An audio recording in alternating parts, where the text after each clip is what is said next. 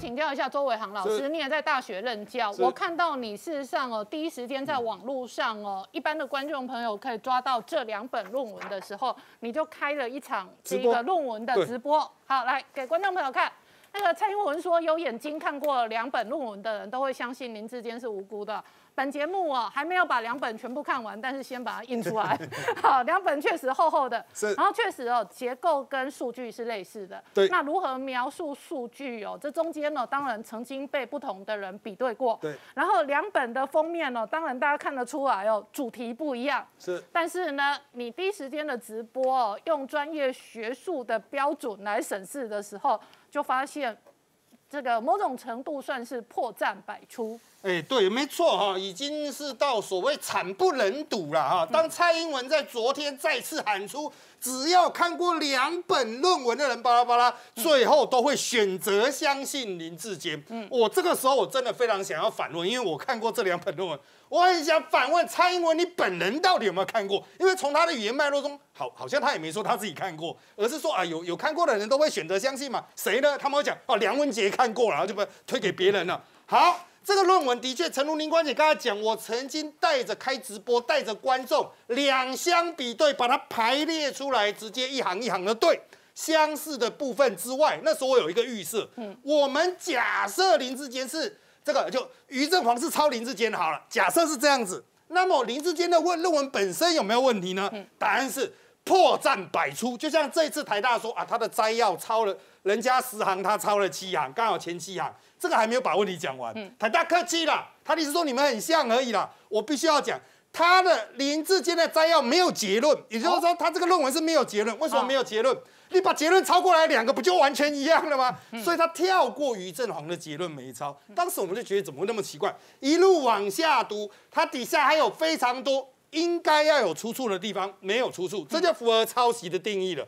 还要到了更后面，甚至在一开始方法论的论述的时候。就乱七八糟，这个部分甚至连林志坚的律师都没有看出来。他们开记者会要把它剪成第三章放出来给大家看，好像我们很厉害哇！我们找到于正煌的一个问题，你自己论述里面蔡仁坚、许明才还有李志坚 A、B、C 应该这样排吧？你结果在里面出现两个 C，这个问题当事人自己没发现。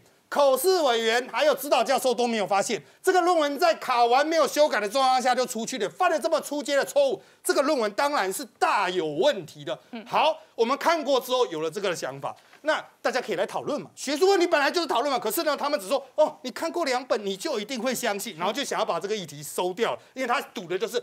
一定大家没有空看，要注意，我们看了一个小时，只看了九页啊，所以你关姐看不完那是很正常。看论文啊那么久，容易又是看小说，你要认真的洋洋去对。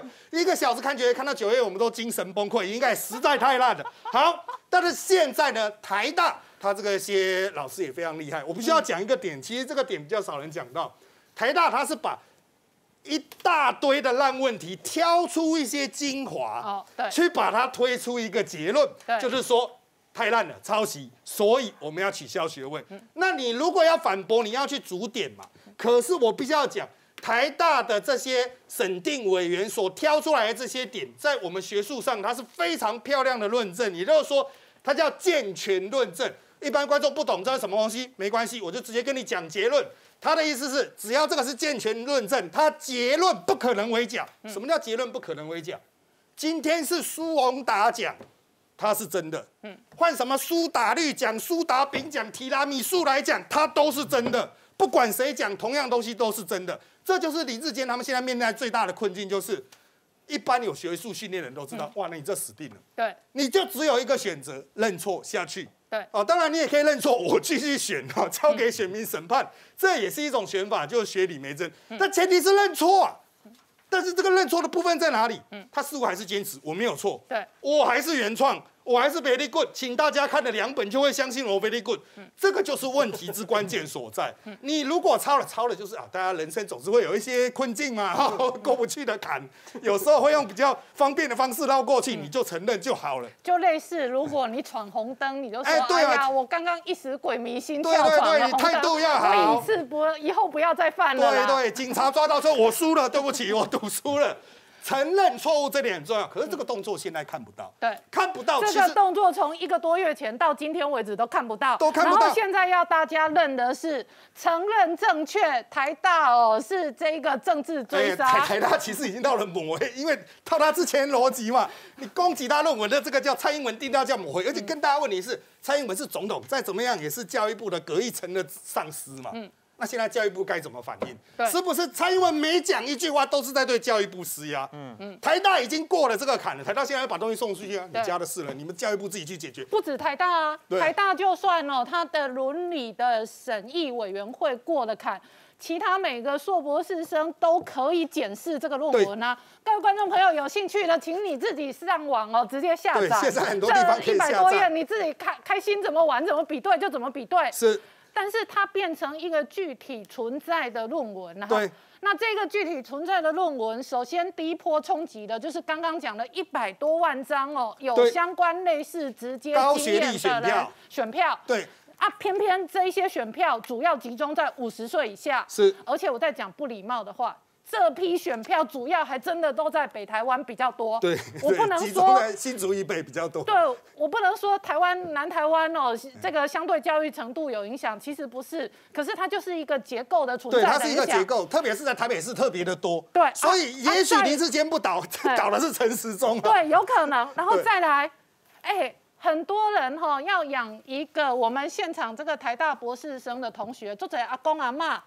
怎么把他气大汉？就细汉叫伊认真读册、读书啦，去学校写作业要认真写啦，考试要认真考啦，没使作弊啦。这个就是所谓整体教育价值。他原本大家讲真善美嘛，真是摆在第一。现在这个第一个真的都动摇，那大家都想，那所有东西都是假的吗？所以其实像因为我的。朋友几乎也都是大学老师了，他们也不敢站出来讲话，也说那以后到底要怎么教学生？学生如果说这样可以过，人家就说人家为什么这样可以过？你要一天到晚刁我这个，为什么人家会写一个什么请林志请志坚自我发挥一下？对，为什么我写一个自我发挥？为什么别的老师的考卷不是说来请郑浩自我发挥？为什么郑浩拿不到论文？郑浩自我发挥发挥完，可不可以拿到一个交大博士生论文？是。为什么？对，这个就是所谓价值，你必须要政治人物其实就应该锚定，不然社会上由谁来锚定这个价值呢？嗯，当然百姓也可以用选票来做锚定。当然，你觉得选票会有多大影响？我认为啊，现在国民党还没办法真正拿到这一块，这一块是散出去了，他可能会巨头，嗯，投票率可能会降到六成甚至更低，因为他大家都觉得都是一样烂，所以接下来怎么选？周伟航，我打个岔，你刚刚讲的价值就是说。某些中间选民跟年轻选民，他可能看到夏立言这样带团去中国，他也是投国民党投不下去。对。但是他看到蔡英文这样护航林志坚抄袭，他也是投不下去。投不下去。他最后投票日就吃喝玩乐、郊游、运动、游泳、有益身心。你也可以追剧，你也可以打手游，反正你高兴干嘛就干嘛。对。然后投票率最后就大家各自车拼铁票。对，就是拼铁票，就拼动员力。好，来，那我们再来算更艰深的数学，不用回归分析算。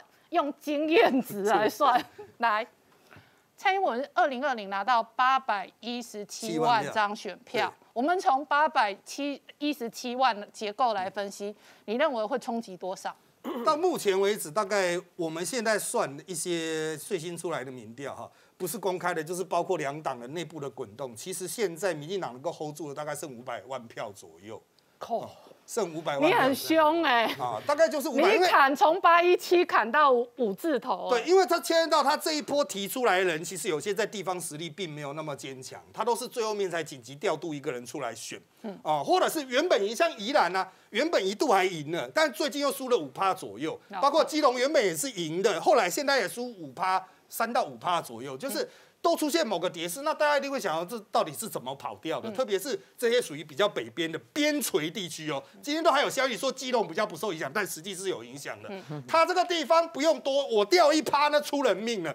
因为掉一趴是跑，也许跑那边，就算你这边关键一趴不出来头，你四九比五一，那就也是出人命。所以现在这一些地方诸侯，他之所以急，他其实也没办法去。我们当然昨天有听到有人摔椅子了，但是未经证实。就是他们在讨论过程有气到推椅子在那边摔，嗯，但是目前还没有人出来开第一枪，嗯，所以现在就是这一些真正在地方选在承担的人，他们该怎么求生？嗯，议员我讲白一点，已经去抱赖清德大腿，所有都是信赖台湾了。现在我们在扫街看到都是满街都是信赖台湾，嗯，但是麻烦的是首长。哦，好，首长大概是没有办法。好，你刚刚从八百一十七万就估到五字头，一伤就是三百万。是，但是不出门投票跟不爽投票的人，他的经验值是这样，他不会投首长，他也不会专程去投议员，不会。所以呢，首先第一个是首长的选票可能会重创，是。第二个是北台湾他的提名的议员可能嘛踹蛋，对，搞不好运气不好。你的某些票不出来投，你就变成落选投了。呃，对，很有可能。不过这也要看国民党，因为国民党也有抄题啊。对，就是两大党现在都不知道搞什么。民进党有自己的一个林志坚，国民党有自己提到百分之六十、百分之七十，所以各有各的问题。但是呢，其实还有一个赖香林啊，你们都忘了赖香林，不爽的还有赖香林可以投。对，也是可以投。我认为赖香林没有那么大力量去拉三百万。啊，他不可能拉到那么多。我自己猜测判断，不爽而不投的总数目可能会。非常可观，对，会非常可观。然后相对下，可能就会变成一个投票率相对超低的一个选战。是投票率超低，其实一般来讲是看国民党动员力，可是国民党今年又特别穷，所以夏立言现在人在对面。但是不管怎么样，就是这一次的，就是状况，我们现在评估就是投票率应该会下到非常低，百姓会对这一次的选举非常厌恶。那最后比的是什么？基层动员人出来的实力，这个就要看双方各自的这个地方上实际派系的调兵。那我问你，北台湾有那么好动员吗？北台台北市很多住宅，像我住的房子，管委会都叫不动其他人的。呃，对，北台湾它它的结构性是比较困难，但是它不多从新竹县以南哈，嗯，你传统的组织还是有一定的实力在，所以他们还是有动员出来能力。好，那周伟航，我们在国安沙盘推演，民进党如果现在一路这样硬干到底，你刚刚的猜测就是很有可能一差来回，搞不好就是三百万起跳。那民进党如果比方说换监，或者是呃林志坚自动退选。那有可能有什么样的政治代价？林志坚自动退选的话，至少就是大家眼中一个挂在心上的讨厌东西先没有了。嗯，这个讨厌东西没有之后，民进党可以去讲新的故事出来。他也许可以把重点搬到陈松身上，或者是去刑诉林佳龙。我不知道林佳龙可以搞什么，反正就是现在一个抱住大家大腿拼命往下拉的，你不能说水鬼了，但是郝杰好像在抓交替的。这个终于解决掉的话，民进党他才可能去打他原本设定战术，比如打夏立言呐。嗯，啊，现在夏立言人被绑在中国，要被他们关十天，你反而都没办法。只要李志杰下个礼拜中华大学出来，如果又是一个不好的结果，这个事情还会再烧一个礼拜，印象不断洗，不断洗下去。我认为民进党再慢出手，嗯，可能最后即使把它换掉，你的苦都已经回不来。